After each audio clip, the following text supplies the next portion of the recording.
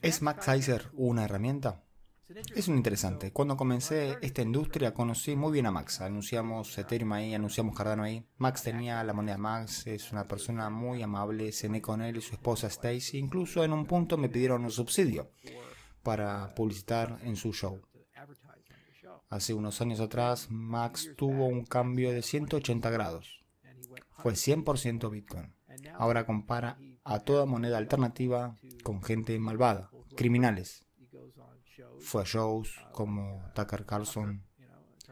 Dice que Cardano Ethereum son estafas. Me comparó a mí con Epstein.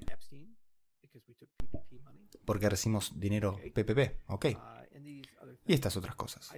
Creo que Max es un artista de teatro. No creo que el Max que ves en televisión, YouTube, es la persona real. Creo que se estaba quedando sin dinero del lado de monedas alternativas y decidió vender su alma al lado Bitcoin y tiene algunos patrocinadores que lo están impulsando y por eso tiene esas posiciones.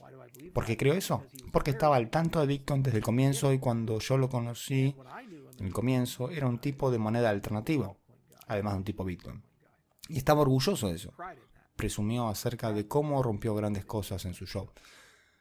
La gente si tiene fuertes conexiones filosóficas morales con algo a menos que atraviesen una experiencia religiosa, un despertar. No recuerdo el viaje con peyote, con ayahuasca que atravesó Kaiser. Usualmente solo hacen eso cuando han sido comprados, así que creo que alguien lo compró y lo hizo el equipo naranja. Ok.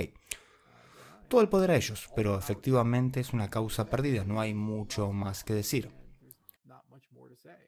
Está más que bienvenido a continuar sus bautismos Bitcoin y otras cosas realmente no me importa.